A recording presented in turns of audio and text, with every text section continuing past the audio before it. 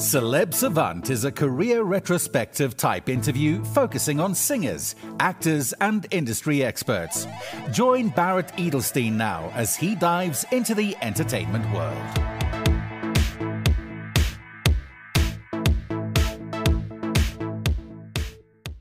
South African Zinah is a singer, presenter, and songwriter. In 2021, Zinah signed her first record and publishing deal with David Gresham Records. In 2022, Zinah made her mark in the music industry by releasing a six track EP. And over the past few years, she has been actively performing across Europe and South Africa, gaining recognition for her captivating stage presence and powerful vocals. In 2002, she had the opportunity to be a part of DGR's Sisonke Creator Tour to Amsterdam. This tour gave Zinah the opportunity to attend the Amsterdam dance event, participating in BMG songwriting sessions, and performing at showcase events. It was during her time in Amsterdam that Zinah found inspiration and wrote her latest EP, Tulipa, which was released at the end of 2023. With the heavyweights in the industry taking notice, Zinah's on an upward trajectory with her music career. Up next on Celeb Savant, we've got Zinah. Where do we find you in the world and how are you doing? First of all, thank you so much for having me. I'm really excited to be on the podcast. And where can you find me in the world? Do you want to know where I live? well, you, so you're based in Johannesburg, hey? Yes, I'm. Yeah, I'm based in Johannesburg, yes. South Africa. Okay, yes. lovely. Um, yeah, and my journey started at a very young age. Um, I was seven years old when I chose to, you know, sing for the rest of my life. And I guess, you know, now approaching 28, it'll be exactly 21 years. Yeah what was the thing at seven years, which was like, okay, this is what, what I want to do? So something that you did at, at a production at school, seeing something on television. What was that? So it's funny because prior to that actual day, um, I had done like a modeling contest at school. And so I had my hair done. I had a, an outfit and everything. It was incredible. And then as I got onto the stage, I saw people and I kind of took like two steps forward. And then when I saw everyone, I was like, I'm not doing this. So I turned around and just like left. and then, um, in December that very same year, my parents had gotten me this, um, Barbie microphone and guitar set. Mm. And so my brother and I basically like put on a show for my gran um on Christmas Day. And I think that was the point where I was like, okay, cool, this is so much fun. And if I can make this a job and like do this, I'd be having fun while being paid to do it. So essentially that was the idea um in the beginning. What was the thing at school? Did you start learning instruments? How did you mm. make it a goal to allow it to become your job? Sure. So I did a lot of the major productions at school, all of the concerts I did, all of the hmm. auditions for the dancing and the singing and the yeah. acting. And, um, it was always my, my place to feel, um, you know, kind of comfortable and confident because I wasn't confident in generally in the, like a, the school setup and stuff like that. I was actually quite a shy person, but as soon as I got comfortable in a specific place or with specific people, then I felt like, okay, cool, I can be myself here. So that happened throughout primary school and high school again, all of the major productions, all of the, um, you know, the dance contests and everything. And then when I was 16, I started going to um, the Christian School of the Arts. So I did musical theater full time while I was doing, you know, um, my IGCSE, so Cambridge course. So it was quite a full day because we pretty much start at seven in the morning and you'd start with, you know, either a ballet class, um, or you would start with a warm up class and stuff, and then, you know, head over to your musical theater theory class and your singing class, and then you'd go into your academics. So it was trying to balance both, which I think really helped me as a person because I was able to balance, you know, putting on my academic hat and then putting on my creative hat. So mm. it then, you know, blossomed. And then in 2015, after I'd finished, um, my matric year, um, I then, you know, started going into the industry full time through Stage Rest Performing Arts School. So, and then what were the next steps? How did we get to where we are now? Sure. Okay. So 2015, I auditioned for um, the ABBA tribute show. Oh, um, yes. And so I was a backing vocalist for that. And then I went on to, from that in 2016, I then went on to doing the Whitney Houston tribute show as a backing vocalist. Okay, and that's so where pause, I pause, toured. Pause. So how yes. long were you in the ABBA show and how long were you in the Whitney Houston show? And was the Whitney Houston one with Belinda Davids? That's the one. Yes. Okay. okay. So, so how long that you, company. How long were you with each of them? So that's Showtime Australia, correct? Yes, Showtime Australia. Yeah. So the ABBA show, we, cause we auditioned, I think in November-ish and the, I think, was it October? Yeah, I think it was October. And the show, I think, started end of November, beginning of December. Mm. So all of December into January, the shows took place. And then while I was doing ABBA, um, the, the, the, I think he still, you know, owns the company. Johnny was, um, yes. um, offered me to, you know, do the, um, auditions for, or rather to join the Whitney Houston tribute show. So I went with them to Europe. I went to Germany, England, Ireland, Scotland, oh, wow. Wales for the year. So it was so much fun. And I think being a, 21 year old or mm. 20 year, actually 20 year old at the time.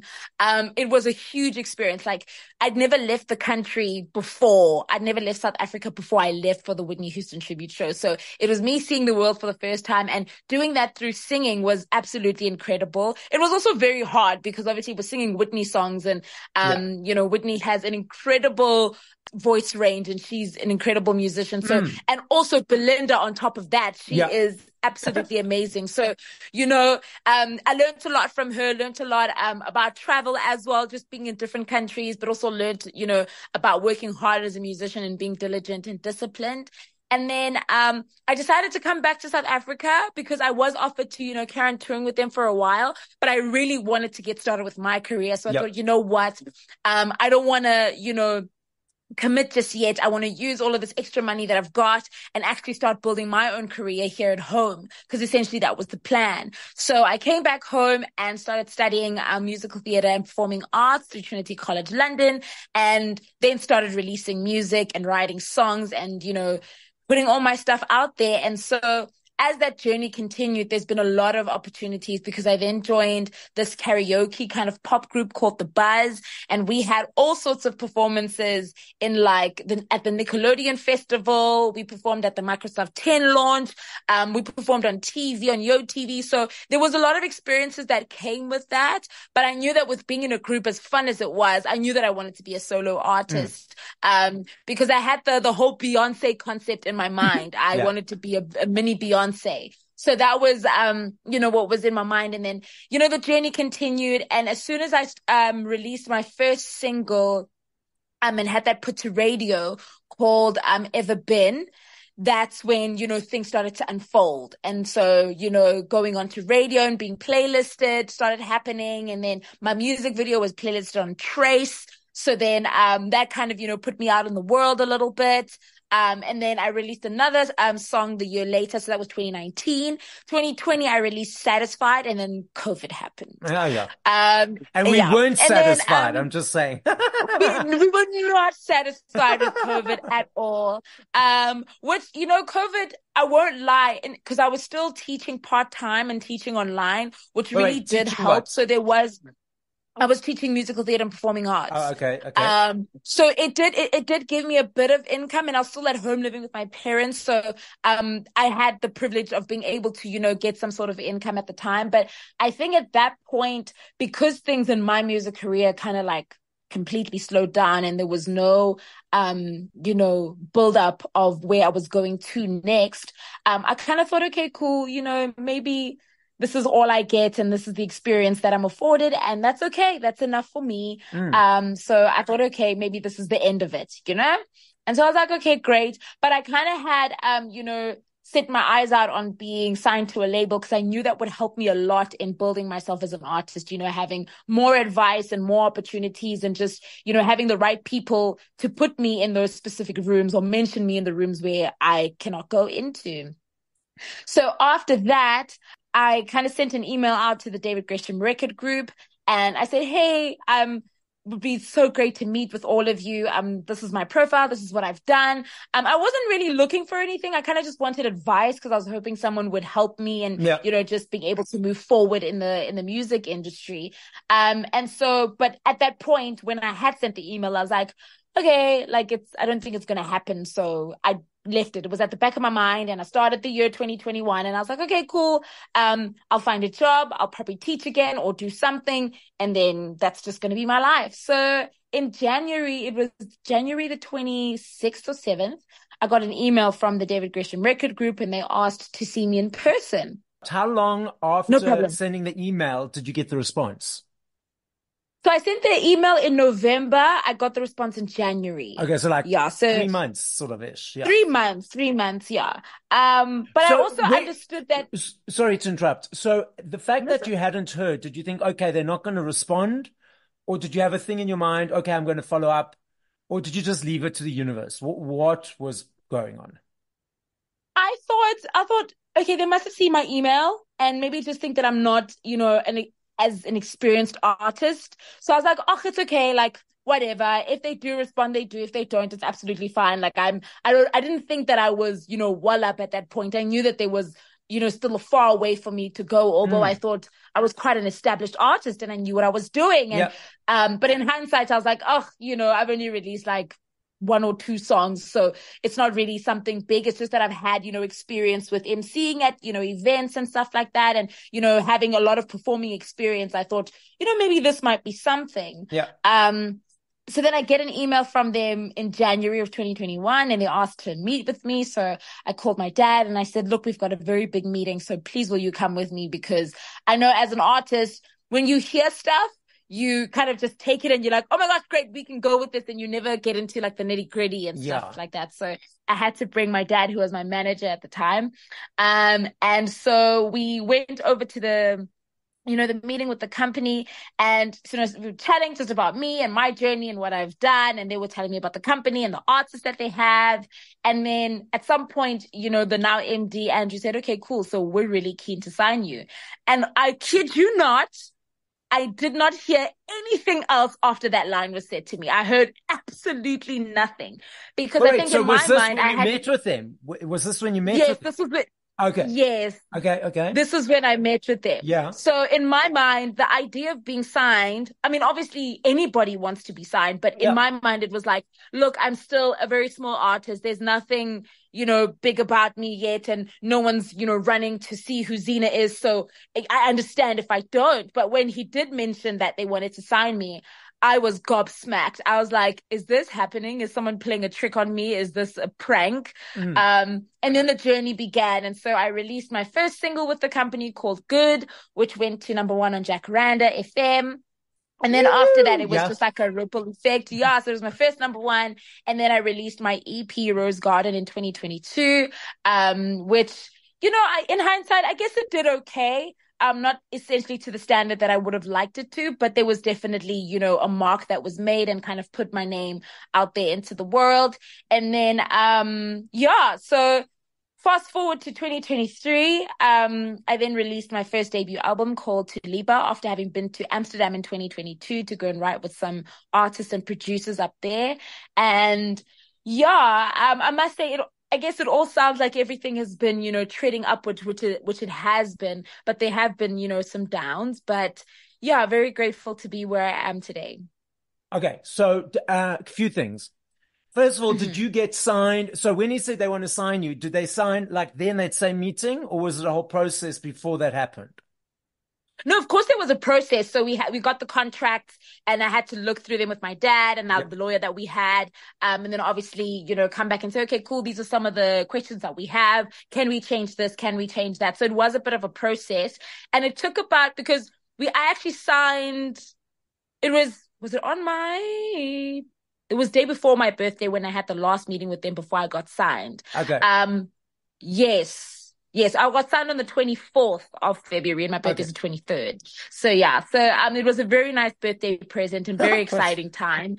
Um, because it just felt like, you know what, for the first time I, I can actually, you know, have a, a scope of what my career could potentially look like now having a team behind me that's supporting you know the goals and you know wanting to be in the industry full time the karaoke band i'm i'm going a bit uh, back and forward because there were questions that were triggered in my mind the karaoke sure. band Buzz that you mentioned. Did you yes, guys? the Buzz. The Buzz. Did you guys sing covers or originals? We sang covers. We oh, sang okay. a lot of covers. Okay. Yeah, yeah, yeah, yeah. Okay. Mm. You mentioned that your first EP didn't do as good as you thought or uh, expectation. Why did you have an expectation? What was what was the thing that allowed you to create that? If that makes sense. Uh, to create the expectation. Yes. You know, as a as a person who has, you know, a lot of goals and is ambitious in life, yeah. um, I think you do have ideas of, okay, cool hopefully this will put me on this level so that I can okay. do this. And then when I do that, I can be able to do that. And so I was so, playing yes. the, um, yeah, so I was playing the, okay, cool, the steps to getting to be a successful musician mm. and full-time musician at that, which is very difficult. Um, because obviously this industry is very up and down. So you could be having a great, you know, run where you're booking all the festivals and all that kind of stuff. And all of the music is being playlisted on all of the radio stations and, you know, it continues to grow. But I think in my mind, um, I knew that there were stepping stones and that, you know, this was the beginning. However, because of, you know, having a label and, yeah. you know, being a new artist with like mm. new music and being a different type of artist, you know, I thought, okay, cool. I think there's a, there's a space for me. Um, but then I quickly realized that it doesn't necessarily work like that. Mm. Uh, but not only does it not work like that, but mm, I don't know. It's just, I guess you make a song and if people enjoy it, they enjoy it. If they don't, they don't. And there's no, there is kind of like a formula to getting to being playlisted and, you know, being put on radio stations and stuff like that. But there is no formula to you becoming a sensation. Um, so that was, it was difficult to come to terms with because I, I really thought that I'd made, you know, the right strides and the right decisions and, you know, made sure that the music that I put out there was really good, um, and well written. And so it was quite disappointing, I guess, because well, not disappointing because I wasn't happy with, you know, what I put out, yes. but I think because of the expectation again of, yes. okay, cool. If I've worked this hard and I've made these decisions, surely, you know, surely I'd be in a different place. Yeah. You're giving me so much aha stuff because it's, yes, we've got stepping stones and maybe, uh, not maybe, definitely because you had that. I had an experience last year basically my podcast was uh, nom- uh, nominated as one of the top five entertainment podcasts on the African continent. And when it came to the wow. evening, when it came to the evening of the awards, uh, it was um, a virtual presentation. But everyone around the table was like, "You're gonna win! You're gonna win! You're definitely gonna win!" And I'd done so much work mm. and so much work, and then I didn't win, and then they won for theirs. So I was trying not to be disappointed because I want to be happy for them. Sure. But at the same time, yeah. they were telling me I was going to win and that they weren't going to win. So created this whole thing in my brain as well. But as you speaking now has really helped me solidify my mind and I experience to understand, cool, we are on our way, but we just had to go to a little few smaller steps before we got to that big one. if that makes sense. 100 mm-hmm. percent. No, hundred percent. I do. I do believe now more than ever that all of these strides that I've been making are necessary. And although it's played a lot on my mental health, mm. I'm grateful for the growth and the constant. You know, it's not to say, well, for me, I sometimes it does feel like a person plateaus at some point, and you just kind of there's nothing more. I mean, my biggest line for last year was was there's nothing more that I can do that'll make people listen to my music. And so when I got to that point, I kind of was like, okay, cool. It's out of my control anyways. So no matter how much work I put in or how much time I put in, at the end of the day, the outcome is based on how other people receive it. And I don't have control over that, which yes. is difficult. Yeah. But at the same time, um, it, it, kind of it is freeing, but for a person who's low key a control freak, it's damaging because it's just like, okay, what more can I do? You know? And sometimes that okay, so I'm very much in a proponent of the law of attraction. You know, what you put out there, mm-hmm. what you think you create, etc., etc., what yeah. you receive. So sometimes, and I'm the same as you, very much in the mm. sense that okay, what what more can I do? What more can I do?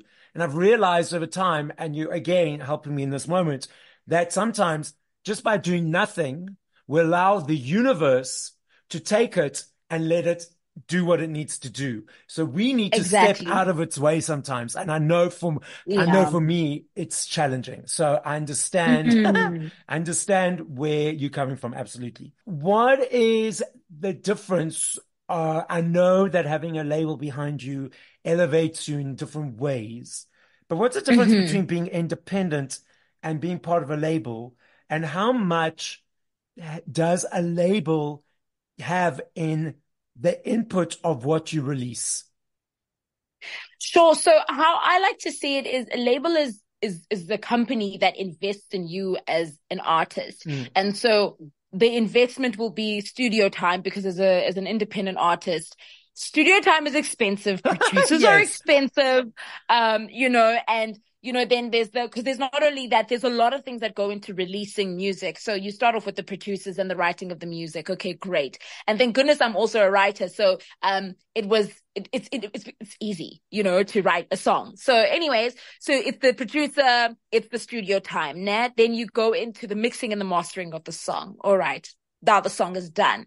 That's not where it stops. Now it's the cover art. What is the cover art going to look like? Okay, great. Now you have to get a, a graphic designer on board, you know, to design the cover mm. art. Um, and then, then it's the, okay, cool. Now we want to get it to radio stations. So obviously being as an independent artist, I'd have to outsource a, um, a publicist who's going to be who has the contacts at the radio stations um to do that for me on my behalf but in a label it's inside um it's it's what's it it's in house okay. so that's all provided for you you know what i mean and the photo shoots and the music videos and the you know the the live performances online and you know it it the, the label i think opens up more opportunities um you know to have the help financially from a financial perspective, but also from a context perspective, because they have more of a network in mm. terms of, you know, obviously, you know, being able to give their, the, their artist musics to different radio stations because they've built relationships with them. Whereas, you know, if when you're an independent artist and you're starting out,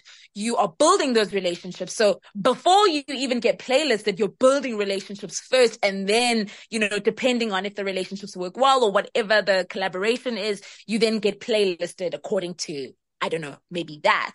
Um, so it's, it's, it's, it's twofold because there's a lot more freedom, obviously, in being an independent artist and just making your own decisions and when you want to release and how you want to release.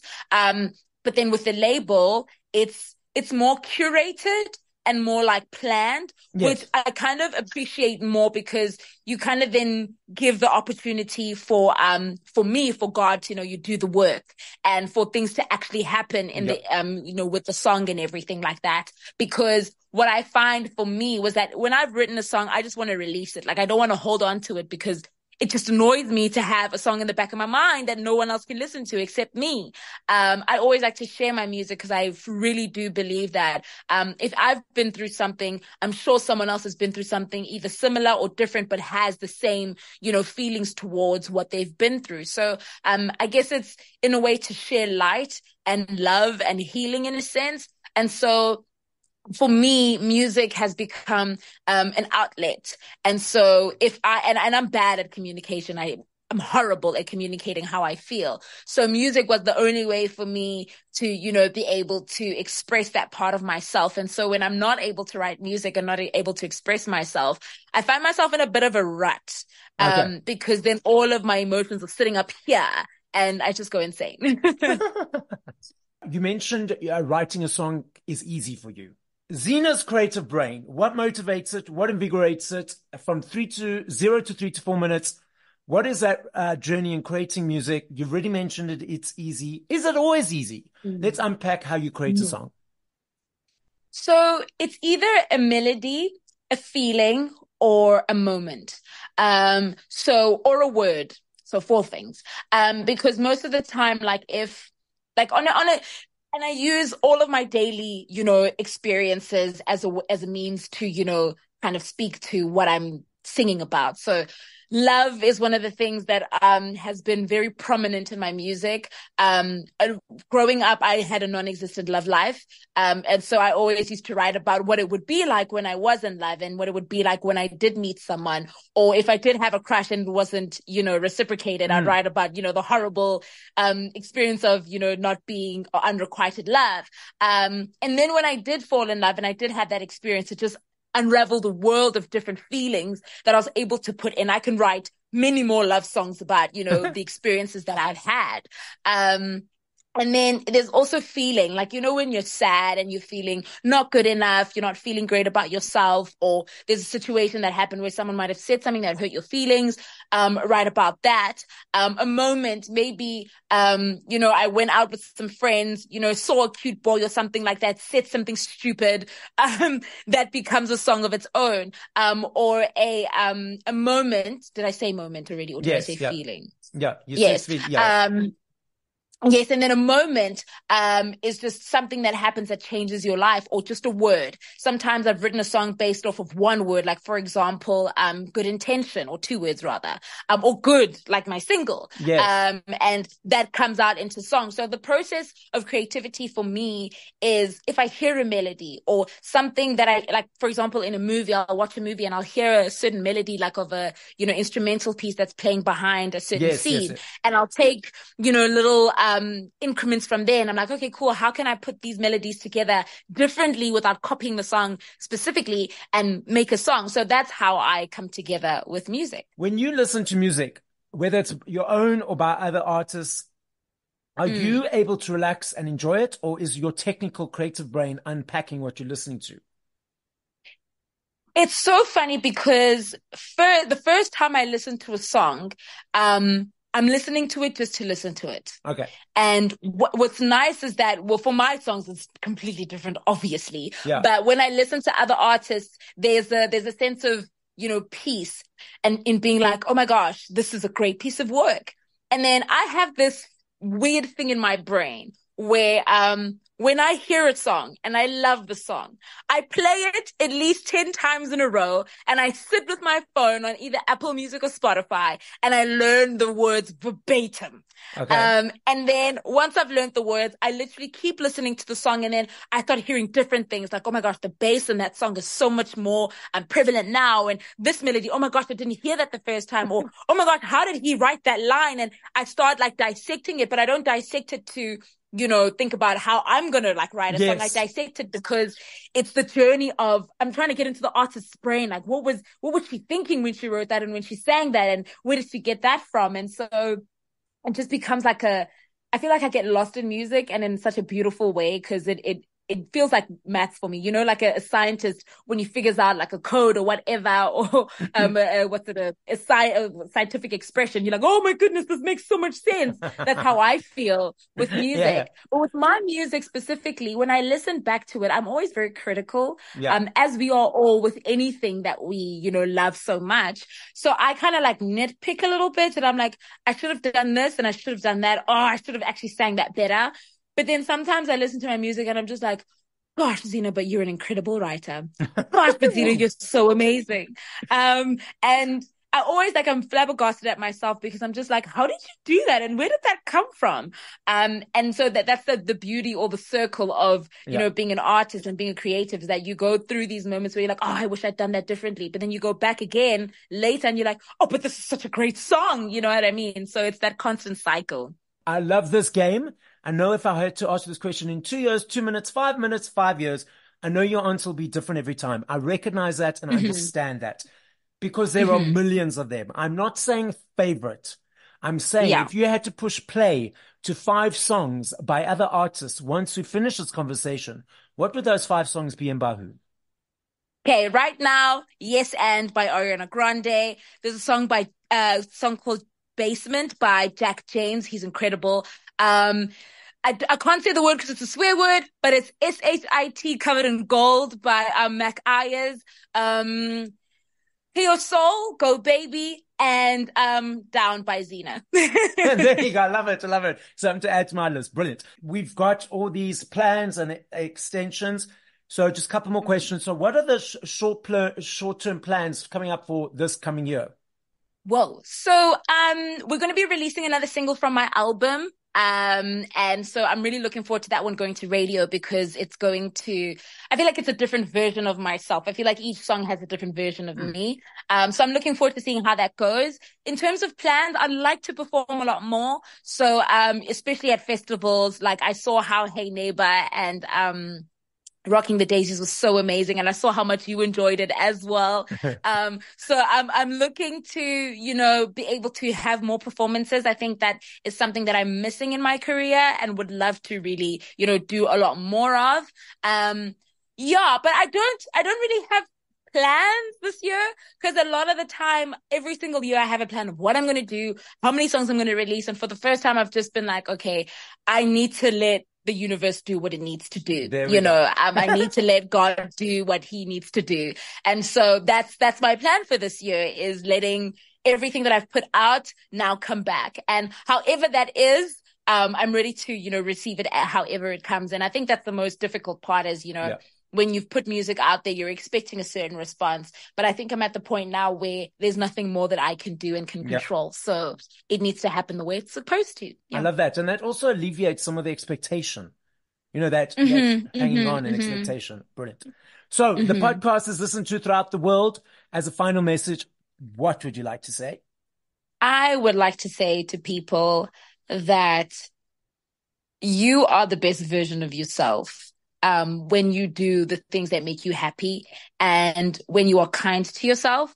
And so be kind to yourself at whatever age you are. And if you feel like you're missing something, no, that's the world telling you that you should be in a place where that, has nothing to do with you. So do what makes you happy. Um, be kind to people and be compassionate towards yourself. And yeah, work hard also. Thank you for listening to this episode of Celeb Savant. Please follow Barrett on TikTok, Instagram, YouTube, and Facebook at Celeb Savant. That's C E L E B S A V A N T.